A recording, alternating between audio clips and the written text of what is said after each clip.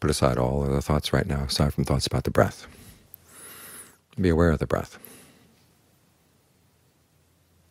Those two go together. You're thinking about the breath and you're watching it at the same time. That helps keep the mind engaged. The commentary you make on the breath has to do with, is this a good place to settle down? If it's not, you can change.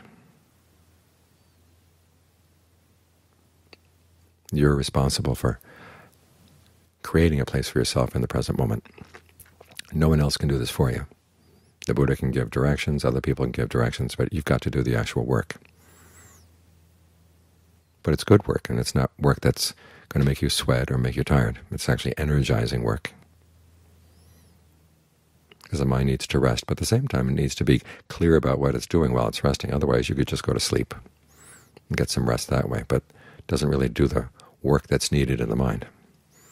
Because resting is not enough. It also the mind also needs to be clear. And to be clear, it has to clear things away.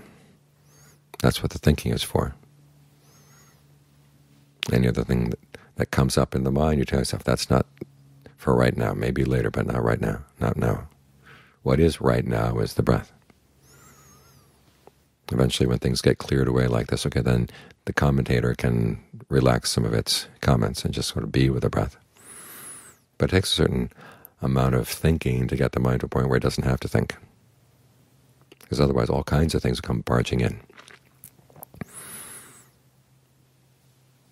Someone once asked Ajaan Fuang that meditation is all about emptying your mind, right? And he said, no, you can't leave your mind empty.